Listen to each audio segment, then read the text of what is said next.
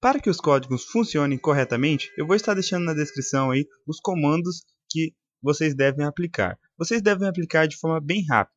Assim que habilitado, o código exibirá uma mensagem acima do mapa. Neste modo, os troféus e conquistas estarão desabilitados e só funcionarão novamente assim que você carregar novamente o jogo.